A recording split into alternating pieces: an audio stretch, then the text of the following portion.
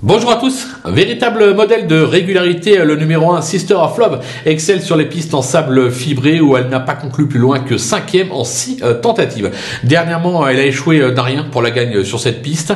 Euh, le 100 mètres supplémentaire du jour ne devrait pas être un souci pour elle. Elle a encore sa place sur le podium. Je vais lui opposer le numéro 4, Lunala, qui vient d'échouer à sa hanche dans l'épreuve référence. Cette protégée de Nicolas Clément avait devancé ma préférée cet hiver à Deauville.